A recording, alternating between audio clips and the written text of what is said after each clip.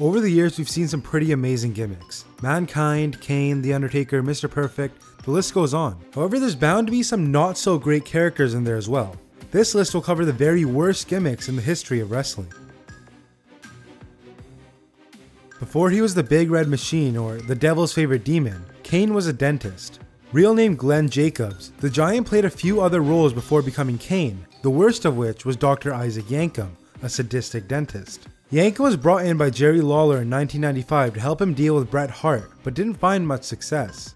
There were a few segments where the doctor would violently drill into the mouths of his patients, but nothing too memorable. This gimmick quickly faded away, but luckily from it would emerge Kane just two years later.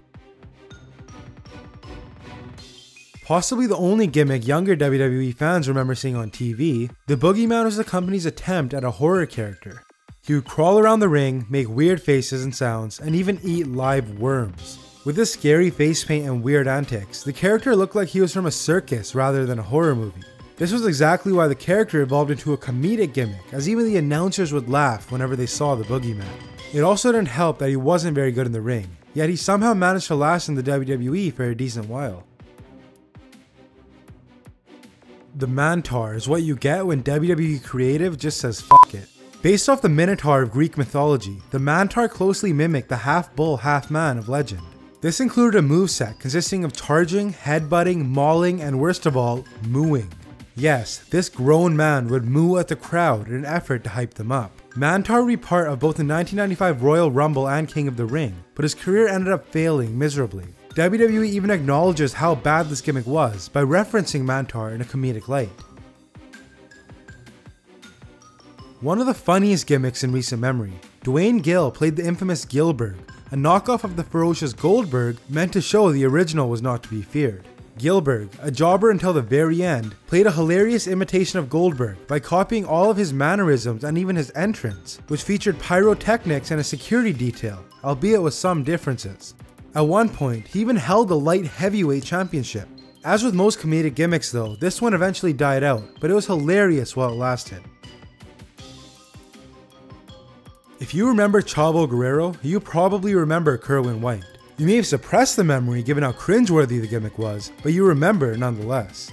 Apparently, Chavo decided to renounce his Hispanic heritage and transform himself into a stereotypical white American man. For some reason, this meant blonde hair, a receding hairline, and an obsession with both golf attire and the sport itself. He would even come down to the ring in a golf cart with his caddy, who we now know as Dolph Ziggler. The gimmick lasted until his uncle Eddie Guerrero died in 2005, after which he reverted back to his former self.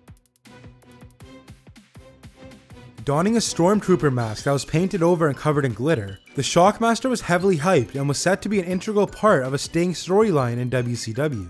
The funny thing about masks though is sometimes they impede your vision. When the Shockmaster was finally introduced by Sting, he broke through a nearby wall to make a grand entrance, but instead tripped over some debris and lost his helmet. Suffice to say, everybody was shocked when the mysterious stormtrooper lost his helmet on day one, revealing who he was. The character was never taken seriously by fans, and after failing as a comedic gimmick, the Shockmaster was dropped.